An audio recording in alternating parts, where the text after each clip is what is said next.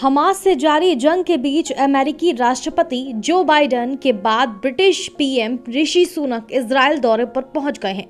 इससे पहले German chancellor Olaf Scholz ने इसराइल के प्रति अपना समर्थन दिखाने के लिए वहाँ का दौरा किया था। ब्रिटेन के प्रधानमंत्री ऋषि सुनक इसराइल के साथ एकजुटता दिखाने के लिए इसराइल पहुँचे हैं। यहाँ वो पीएम नेतन्याहू से मुलाकात करेंगे। ब्रिटिश पीएमओ के बयान के मुताबिक सुनक इसराइल पर हमास के आतंकवादी हमले की निंदा करेंगे।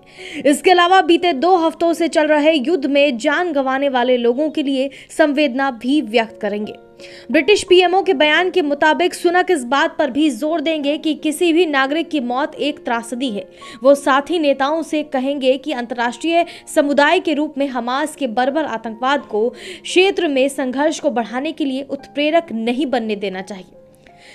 आपको बता दें, ऋषि सुनक ने गाजा के अस्पताल पर हुए हमले को क्षेत्र और दुनिया भर के नेताओं के लिए संघर्ष को ज़्यादा खतरनाक रूप से बढ़ने से रोकने के लिए एक साथ आने का महत्वपूर्ण क्षण बताया।